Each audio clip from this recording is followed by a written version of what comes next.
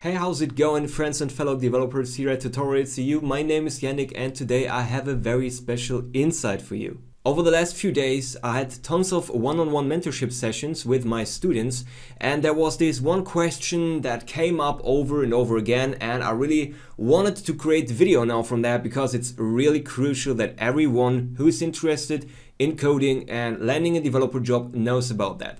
So the struggle is real when the key question is how to land a developer job, right? I know there are so many people out there here in our audience which are learning to code, right? Digging deeper into ASP.NET Core, Kotlin, C Sharp, and so many more things. I mean, we even got courses on Python and machine learning, but what exactly do you have to do to land a developer job? And I'm teaching that to my students basically every day, so I thought it would be worth creating a video just on that topic. If you fit into that audience, if you're in the same position, make sure to watch the video until the very end, obviously. So the first part, that's really very important, is that you have to stop focusing on too many things. Just focus on one thing, stop learning too many languages and frameworks at once, right? This is not just uh, something related to a single week, it's related to your entire journey. So my first advice is just forget about anything else, right? You have your starting point, you have one thing. But you know, what happens if you think that Kotlin or .NET, so C Sharp for example, is the correct way to start with, but now pay attention, it's not. Chances are quite high that Kotlin or C Sharp, for example, or even Python are not the best coding languages to start with if you want to land a developer job. And here's why. And I, I, as I said, I'm praying that inside of my mentorship sessions. Now think of it from a company side of view chances are that you are a developer beginner, you're a junior developer, right?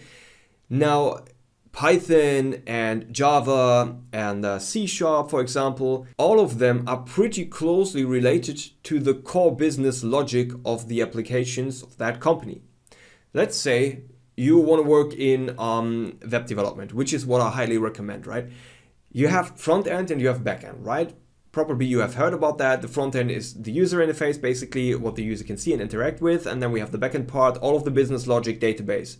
You know, the backend is really, really valuable. And the front end is also valuable, but if something breaks, it's okay. But if something breaks in the backend, whoa, that's crucial, right? So from a company side of view, if you're a beginner, do you think it would be a great choice to actually put you as a junior into the position of a backend developer? Well, Probably not, right? Because chances are that you will break the system.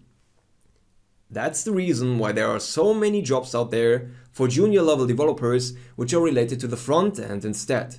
So my second advice is that if you find yourself in the position where you learn C Sharp or where you learn Kotlin or for example, think about that again, right? And try to understand that people are actively searching for junior developers mostly related to front end positions. Now front end, what does that mean? Well, that means that we have frameworks out there, such as Angular, React, and Vue.js. Chances are you already heard about them, right? Same applies for, for the app development ones, right? That would be Swift and Kotlin then.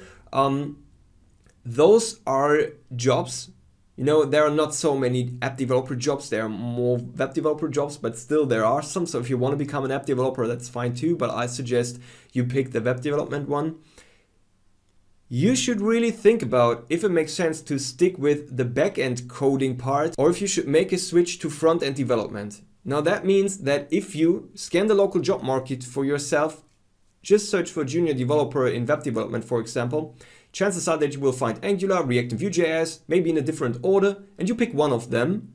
And here's my advice, if you like JavaScript and Python, stick with React and if you like C Sharp, then you should go with Angular because Angular uses TypeScript and TypeScript is very closely related and very similar to C Sharp. However, learn Angular or React or Vue.js, one of those front-end frameworks, and then you're in the position already where someone would say as a company, oh yeah, you are valuable to me. I can put you into a position into our company where you can actually deliver value but not break the system, right? So learn the framework, start with the basics, obviously, and then dig deeper. Forget about everything else. As I said earlier, you're just in that framework and then you dig really deep.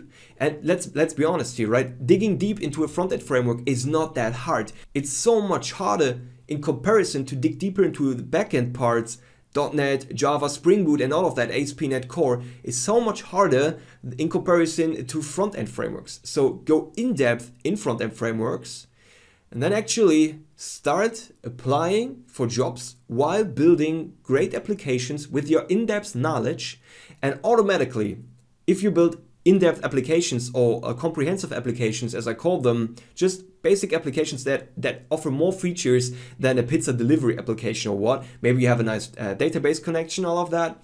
You will automatically, as I said, if you need a database, you need a backend, you will start transitioning to backend again. But this time, you can bring value to the table as a front-end developer. And while applying for jobs, you will additionally build some backend developer skills. This is what I teach basically all the time. This is what works for tons of our students. And if you also want to have one-on-one -on -one guidance and assistance and a mentor that leads you to success, make sure to check out our developer mentorship. You can find the link in the description below. So if you like that video, give it a thumb up, subscribe to our channel and share your experiences in the comment section below. Thanks for watching and I'll see you back next time.